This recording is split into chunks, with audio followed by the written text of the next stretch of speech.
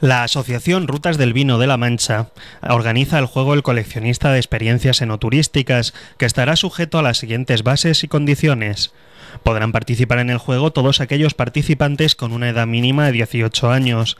Cada participante formará parte del juego y será considerado de forma individual, aunque en sus experiencias enoturísticas intervengan más personas. El juego tendrá vigencia desde las 9 de la mañana del pasado 15 de noviembre hasta las 8 de la tarde del 30 de abril de 2011.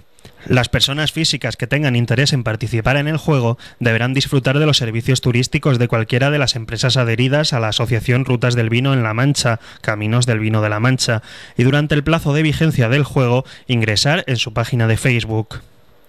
Las personas que hayan indicado me gusta en la página de Facebook de Caminos del Vino de la Mancha deben compartir sus experiencias en el plazo establecido en el muro de Caminos del Vino de la Mancha.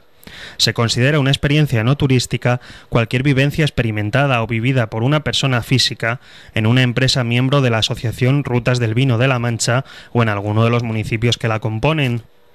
Esta experiencia debe evidenciarse ante una tercera parte, bien mediante un ticket de compra, una factura de servicios, una fotografía o vídeo del que forme parte la persona participante.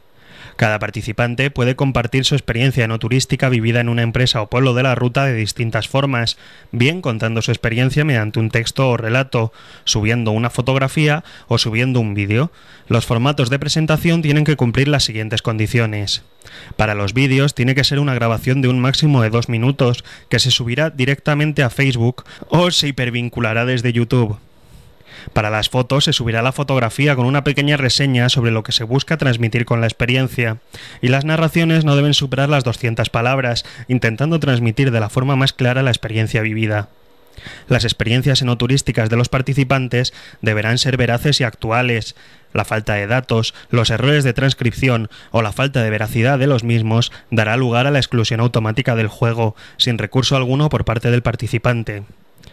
Cada persona podrá subir cuantas experiencias enoturísticas vividas en los caminos del vino de la Mancha desee, y los 20 usuarios de Facebook que consigan más votos en relación a sus experiencias enoturísticas vividas en los caminos del vino de la Mancha mediante la función me gusta de Facebook pasarán a la fase final del juego.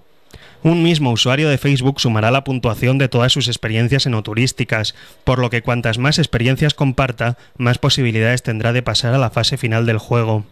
Los 20 finalistas serán convocados a través de su cuenta de Facebook a una prueba final, un evento abierto al público en el que contarán en primera persona ante un jurado compuesto por seis u ocho personas miembro de la asociación Rutas del Vino de la Mancha sus experiencias enoturísticas vividas en los caminos del vino, así como el premio elegido por valor de 5.000 euros.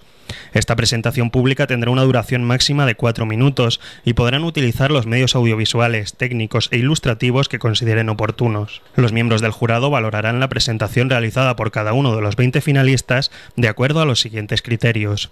Número de experiencias vividas en los caminos del vino, conocimiento del producto turístico Caminos del Vino, originalidad y singularidad de las experiencias vividas, difusión de la cultura del vino, vinculación con la cultura castellano-manchega, singularidad del premio elegido, cualidades interpretativas del participante y simpatía del participante. El ganador del juego obtendrá un premio de 5.000 euros sujeto a las retenciones tributarias que marca la ley.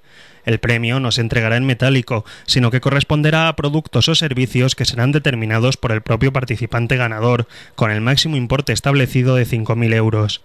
El resto de los candidatos finalistas del juego obtendrán cada uno de ellos un lote de productos y servicios de Caminos del Vino de la Mancha, valorado en 100 euros, compuesto por vinos, productos típicos, servicios turísticos, etc. El fallo del jurado será irrevocable y el premio será entregado durante el mes de junio de 2011.